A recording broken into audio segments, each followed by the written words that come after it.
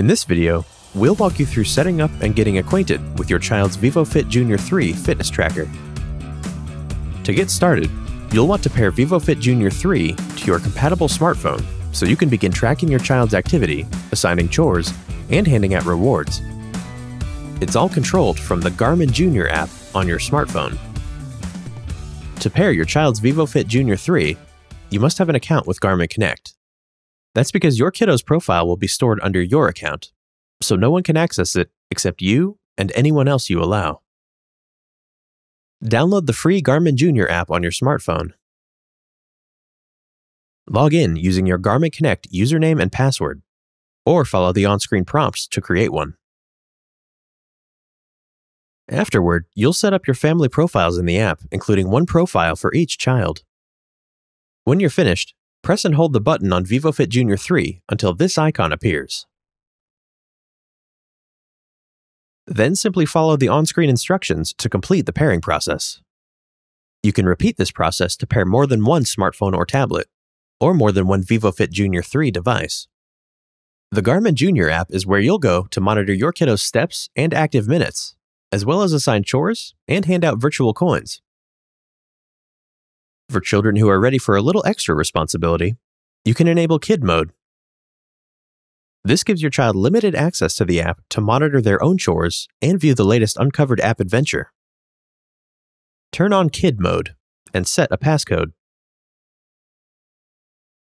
Your child won't be able to modify chores or change coin amounts without that passcode.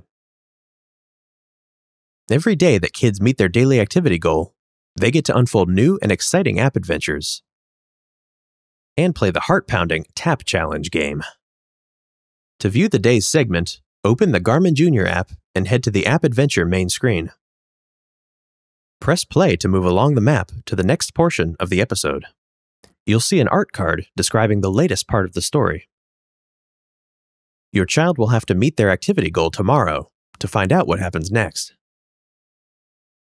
The map is chock full of new stories for your kids to discover tap challenge games to play, and even fitness moves to learn. Now let's take a look at the device. Your child can access information on the activity tracker by scrolling through available screens. Press the button to cycle through them. You'll see the current time and date. You can customize this screen in the Garmin Junior app to include your child's name. Next, the total number of steps taken for that day and a character icon the total number of active minutes for the day, and your child's progress toward their 60 minute activity goal, the number of chores completed and assigned for the day, and the total number of virtual coins earned. This widget shows your child's current level. It will continue to go up the more they stay active and progress through daily app missions.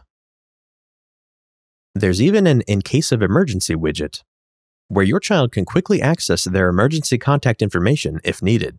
This will not appear on your child's fitness tracker unless you've added an emergency contact via the Garmin Junior app. Press and hold the button to view the menu, and press to scroll through the options. Here, you can manually sync to send the latest activity tracking and chore data to your paired smartphone.